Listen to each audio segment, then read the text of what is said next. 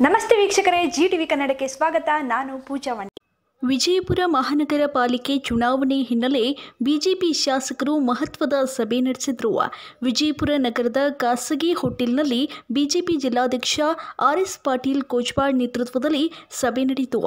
ಇನ್ನು ಶಾಸಕರಾದ ಬಸನಗೌಡ, ಪಾಟೀಲ್ ಯತ್ನಾಳ್, ಪಿ ರಾಜೀವ್ ಮಹತ್ವದ ಸಭೆ ನಡೆಸಿ ನಾಯಕರ ಅಭಿಪ್ರಾಯ ಸಂಗ್ರಹಿಸಿದರು. ಅಲ್ಲದೆ ಪಕ್ಷದ ಪದಾಧಿಕಾರಿಗಳು ಹಾಗೂ ಕೆಲವೇ ಕೆಲವು ಮುಖಂಡರು ಮಾತ್ರ ಭಾಗವಹಿಸಿದ್ರು.